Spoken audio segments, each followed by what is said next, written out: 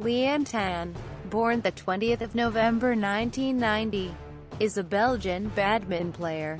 She competed for Belgium at the 2012 Summer Olympics.